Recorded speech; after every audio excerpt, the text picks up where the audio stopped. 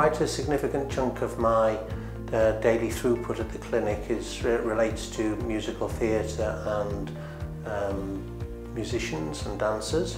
Some of the typical injuries I see with musicians are quite often related to postural issues around the neck and shoulder girdle, particularly with the upper strings, uh, playing violin, flutes, blowing instruments. This can uh, relay nerve and circulatory discomfort into the arms and hands in the form of tingling pins and needles and pain, which can be quite debilitating, restricting both practice and performance.